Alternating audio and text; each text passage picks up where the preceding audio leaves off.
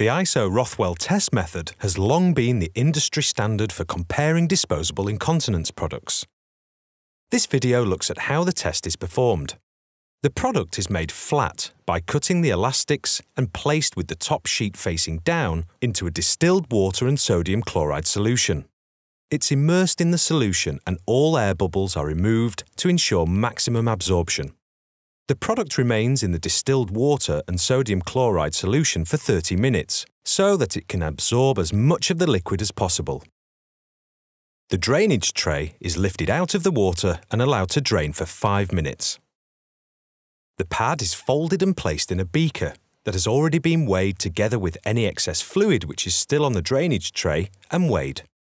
The ISO result is established by subtracting the dry product weight from the wet product weight to calculate the total absorption capacity of the pad.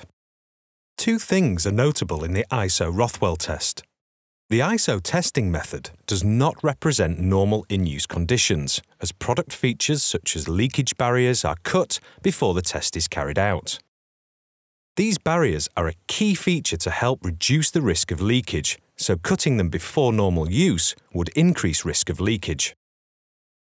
During the ISO test, the product becomes totally saturated. This does not reflect average voids of urine or the benefits of core technology that helps to prevent leakage and maintain skin health.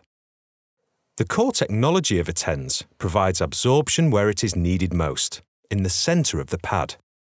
In test conditions, products with a higher concentration of fluff are likely to absorb more liquid initially and gain a higher isoabsorbency. But during everyday use, the superabsorbent within the core is capable of absorbing more urine than fluff would absorb.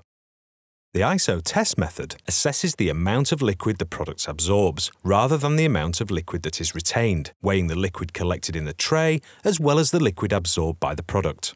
In conclusion, the ISO Rothwell test measures the total absorption capacity of the product in a laboratory environment, showing how much liquid can be absorbed under optimal conditions. However, this is not always reflective of a person's in-use experience. Important containment features, such as leakage barriers, are cut before the ISO test is carried out. During the ISO test method, the product becomes totally saturated, which does not reflect the average void of urine and the type of incontinence. And finally, the ISO test measures the total absorption capacity of a pad in a laboratory environment and also includes any excess fluid which is still on the drainage tray. Do you have any questions for Attends? If so, please do not hesitate to contact us.